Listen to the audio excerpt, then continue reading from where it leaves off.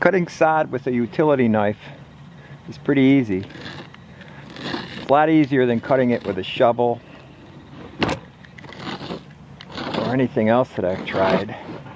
Comes right apart. If you don't get it on the top cut, you can cut it underneath.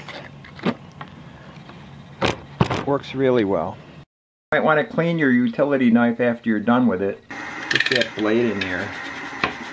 I just use a scrub brush. Put that blade in for sure. And then when you take the blade out, use this small towel. The blade part is that way, of course. And then dry it off.